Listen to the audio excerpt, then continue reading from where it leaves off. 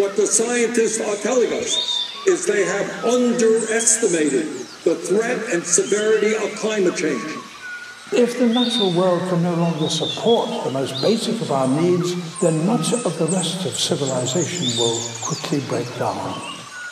Every week, we're seeing new and undeniable climate events, evidence that accelerated climate change is here right now.